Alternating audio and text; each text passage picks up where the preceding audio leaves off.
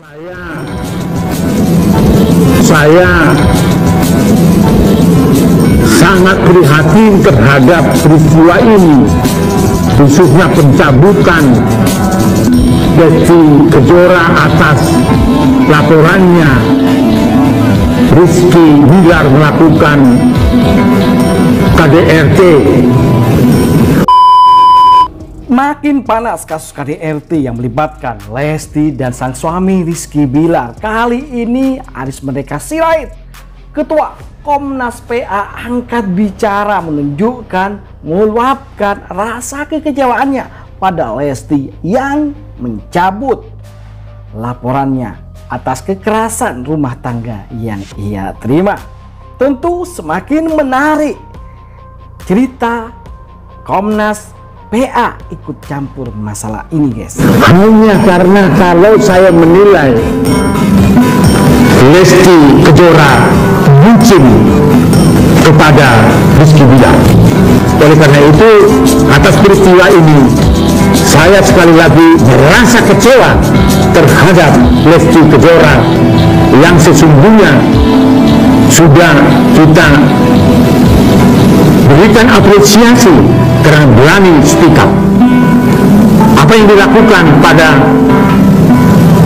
saat Lesti Kejora mencabut laporan itu, itu merupakan mengganggu gerakan penegakan hukum terhadap anti kekerasan dalam rumah tangga.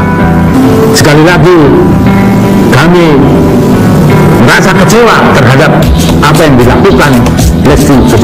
Sekalipun itu merupakan hak dari Lesti Kejora.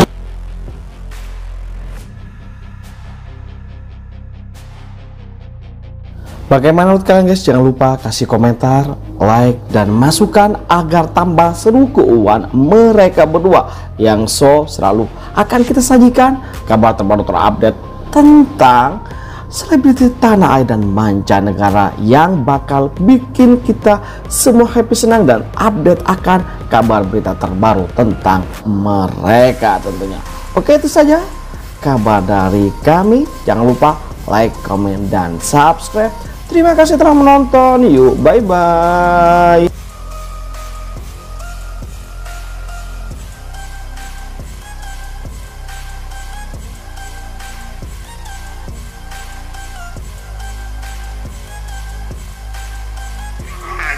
mencari dulu